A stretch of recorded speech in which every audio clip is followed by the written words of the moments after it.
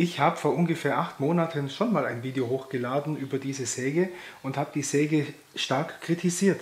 Komplett falsch. Alles, was ich gesagt habe, war falsch in dem Video.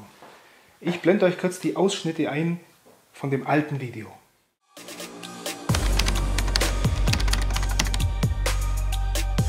Und was halt wirklich auch ein Riesenproblem an der Säge ist, das Sägeblatt klappt Richtung Parallelanschlag. Normalerweise klappt ein Sägeblatt in die andere Richtung.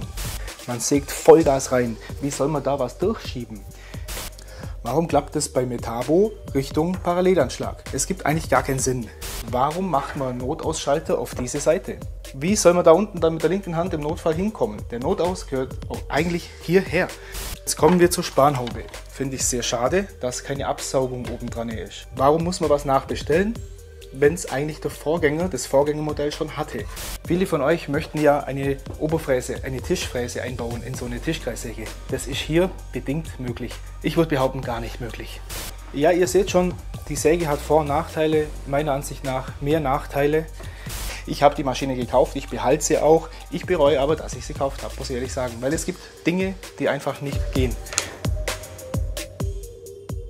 In meinem ersten Video habt ihr ja gesehen, dass ich das so zeige, wenn man quasi das Sägeblatt neigt. Ich mache für euch die Spanhaube mal weg. Und natürlich sägt man, wenn man so arbeitet, voll in den Parallelanschlag. Aber so arbeitet man natürlich nicht mit dieser Säge, das ist ganz klar. Ihr nehmt hier dieses L, diesen L-Anschlag raus und baut ihn wieder so ein. Somit kann man hier logischerweise auch ganz kleine Leisten sägen. Komplett ohne Probleme. Man kann das L hier anlegen, den L-Anschlag, und kann hier präzise sägen. Es gibt aber auch eine zweite Möglichkeit, den Parallelanschlag an dieser Säge zu verwenden. Und zwar seht ihr schon, auf der anderen Seite der Säge kann man den Anschlag natürlich auch montieren und diese Schiene zieht ihr ein bisschen zurück, somit verhindert ihr hinten ein Verklemmen des Materials und somit die Kickback-Gefahr wird dann somit natürlich minimiert. Ihr könnt aber auch den Parallelanschlag leicht herziehen, minimal herziehen und dann festspannen. Dann ist nämlich hier hinten die Fläche weiter. Das kann man messen, das kann man alles messen, dass man hinten minimal Papierstärke reicht da schon, weiter aufgeht mit dem Parallelanschlag. Somit verkeilt da auch nichts, weil ein Parallelanschlag geht ja eigentlich immer weg vom Sägeblatt. Auf der Seite geht er natürlich nach rechts und auf der Seite sollte er nach links gehen.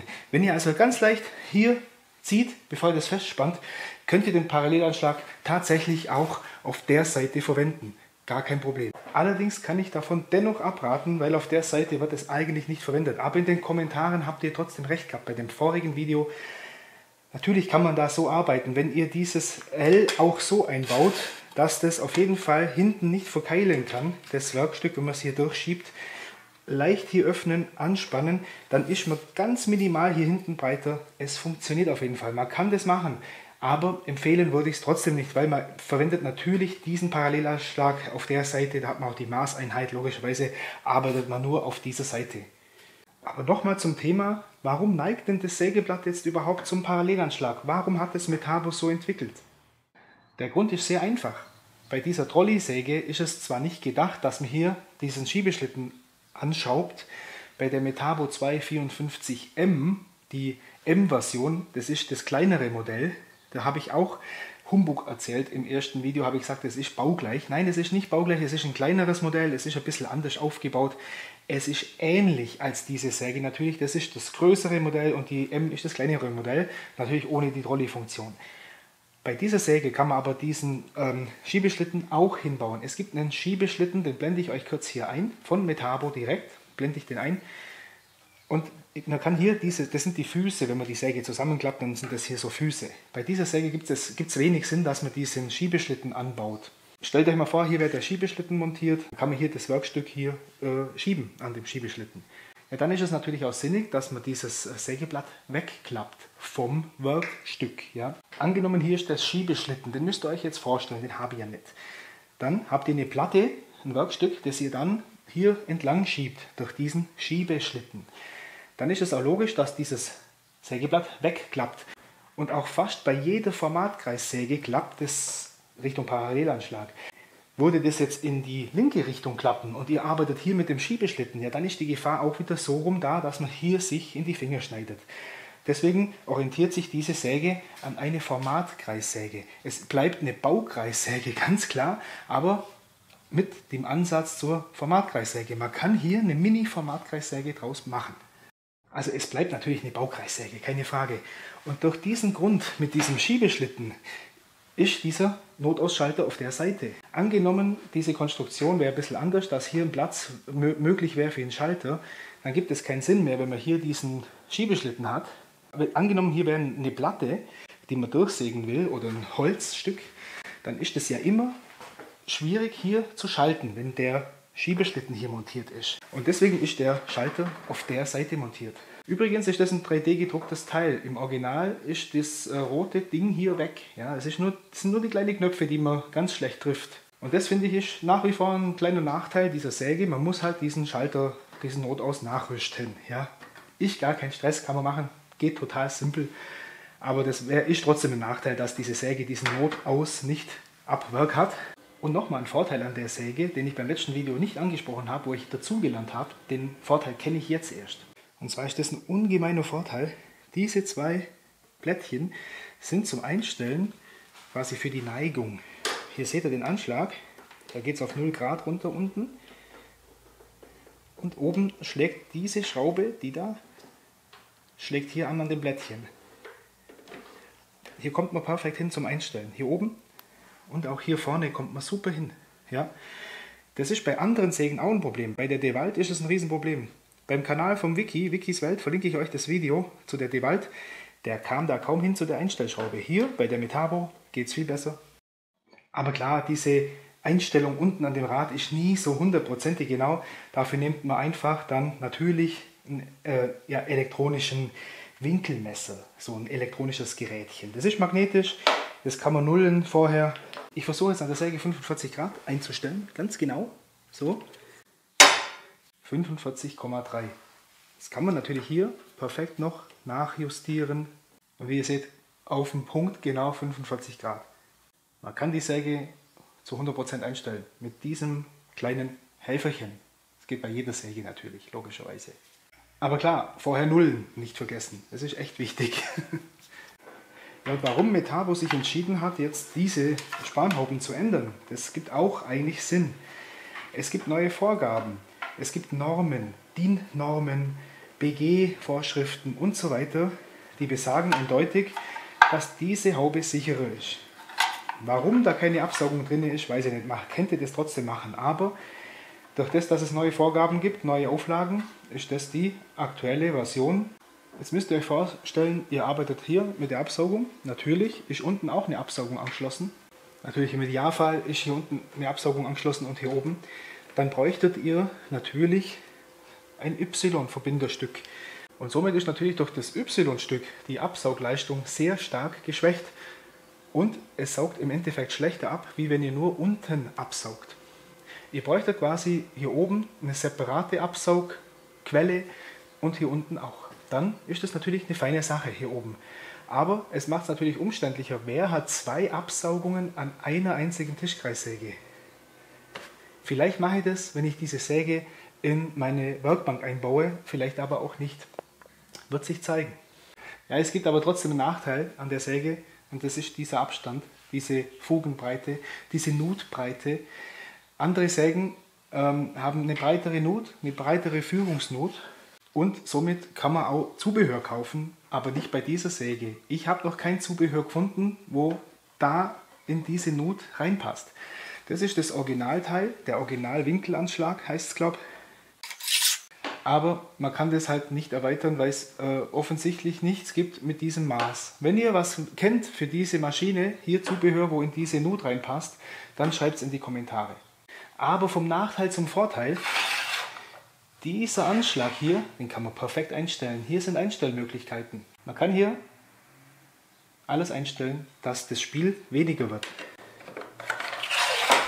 Ich habe das schon gut eingestellt. Es hat minimal Spiel, aber man kann das noch nachstellen. Das wäre kein Problem. Und auch hier haben wir eine Einrastfunktion.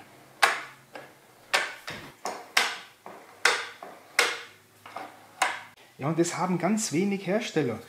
Einrastfunktion, einstellbare äh, Führung, dann aus Alu. Das ist kein Kunststoff, das ist alles Aluminium. Einzigste Plastikteil ist im Prinzip hinten die Anzeige, das Anzeigestückchen hier unten dran, das da, wo die Anzeige drin ist, wo man ablesen kann. Ja, und der Griff, das ist einzigste Zeug aus Plastik. Ansonsten ist hier alles aus Alu. Ja, hochwertig verarbeitet. Ich finde das wirklich gut. Das muss man auch mal sehen. Ja. Äh, andere Maschinen sind da mit diesem Ding hier im Nachteil. Andere Maschinen in der gleichen Preisklasse oder geringer natürlich. Ja. Wir reden natürlich immer noch von einer Baukreissäge, Leute. Ja, jetzt noch ganz kurz zu dem Thema, wie baut man hier äh, einen Frästisch ein, wenn man das will. Viele von euch kennen das ja. Man will auch einen Frästisch einbauen, damit man hier äh, den gleichen Anschlag verwenden kann. Hier baut man dann noch eine Box hin von mir aus mit einer Absaugung, wo dann der Fräser abgesaugt wird. Hier ist eine Platte drin mit einem Fräser. Eine Platte einzubauen wäre hier kein Problem. Das würde gehen, das kann man machen. Aber man kann es natürlich nur abstützen, wenn man das in der Werkbank einbauen würde. Natürlich, wenn man das wirklich stationär irgendwo einbaut in die Werkbank, dann geht diese Trolley-Funktion natürlich flöten. Aber nochmal, ihr baut hier eine Platte ein, dann haben wir das Problem bei diesem Tisch, bei dieser Tischkreissäge, wenn hier das wirklich einbaut ist, dann könnt ihr hier nicht mehr komplett zum Sägeblatt fahren. So, also weiter geht's nicht. Ja, das fällt dann raus und dann war es das. Ich habe jetzt die Ersatzteile bestellt. Das sind die Führungsschienen von dieser Seite. Die will ich dann in einem Projekt hier einbauen. Dann komme ich nämlich mit dem Parallelanschlag über dieses Level rüber und kann sogar den Parallelanschlag komplett auf die andere Seite schieben. Die zweite Schiene wird hier hinten eingebaut. Dann kann ich den Parallelanschlag, wie gesagt, komplett nach links schieben. Natürlich ist es dann wieder eine Fummelei und man muss was basteln und so weiter, aber das ist ja unser Hobby, würde ich sagen. Ja?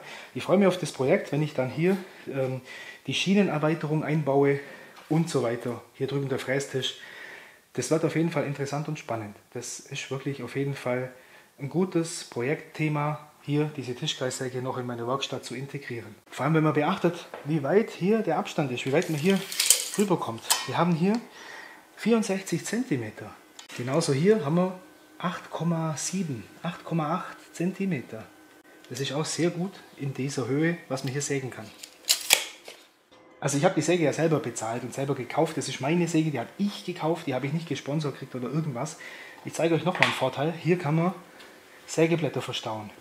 Und hier ist der Schlüssel gleich versteckt. Super. Und mit diesem runden Ding hier kann man die Einlegeplatte öffnen. Und auch diese Einlegeplatte ist aus Alu. Ja, viele Sägen haben hier ein Kunststoffteil verbaut. Alu.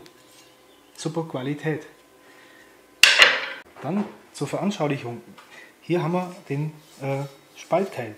Ihr müsst nur diesen Hebel hochziehen dann kann man den Spaltkeil erhöhen. Das bietet natürlich dann noch mehr Höhe inklusive Spanhaube.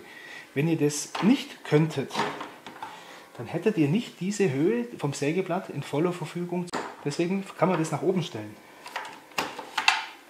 Und bei ganz vielen Sägen haben wir das Problem, der Spaltkeil ist öfters mal über dem Sägeblatt und man kann es öfters auch nicht niedriger stellen. Dann könnt ihr keine verdeckten Schnitte machen.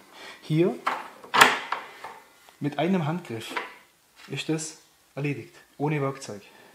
Ein kleiner Tipp von mir, hier diese Auflagepunkte, die sind sehr scharfkantig. Wenn ihr hier drin rumfummelt, ja, dann kann man hier sich ruckzuck an diesen Kanten die Finger aufkratzen. Da könnte man mal sagen, man geht mit einer Eisenfeile drüber und tut diese Grate entfernen. Beim Sägeblattwechsel ist hier hinten ein kleiner Hebel, den zieht man hoch und dann Linksgewinde öffnen.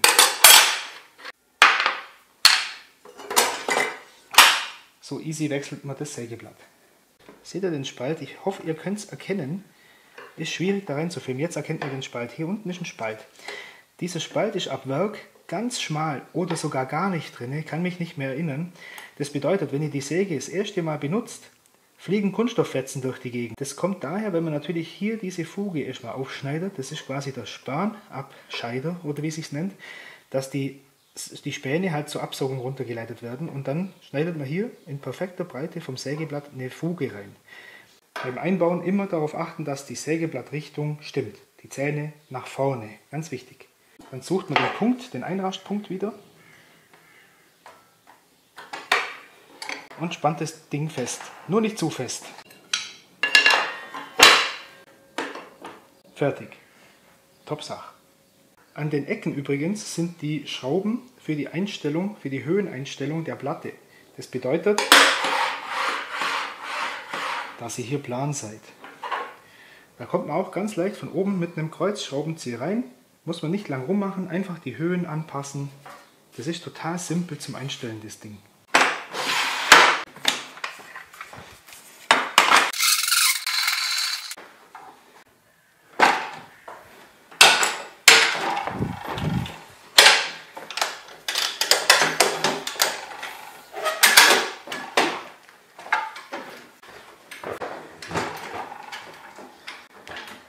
Jetzt habe ich euch kurz die Vorteile und auch ein paar Nachteile gezeigt von der Säge. Und wie gesagt, es ist kein Sponsoring oder so, ich bekomme hier kein Geld für das Zeigen von der Säge. Ich habe die auch selber gekauft. Ich wollte euch nur mal kurz noch mal zeigen, dass dieses Video, das ich vor acht Monaten gedreht habe, komplett irrsinnig war. Total ja, aus Unerfahrenheit. Die Säge hat seine Daseinsberechtigung und die Säge hat Möglichkeiten, die andere Sägen halt nicht haben. Gerade das mit diesem Schiebeschlitten. Vielleicht kaufe ich den sogar noch. Ich weiß es nicht. Mal schauen. Ja, das alte Video habe ich natürlich offline gestellt, weil es kann sein, dass Metabo das als marktschädigend wahrnimmt. Deswegen habe ich das gelöscht, weil es ist ja nicht wirklich sinnig, was ich da gesagt habe bei dem vorigen Video. Also, wie gesagt, wenn euch das Video gefallen hat, dann könnt euch das und das auch interessieren. Ich verlinke euch hier zwei Videos und hier könnt ihr meinen Kanal abonnieren. Also, lasst ein Abo da, Daumen nach oben. Ciao.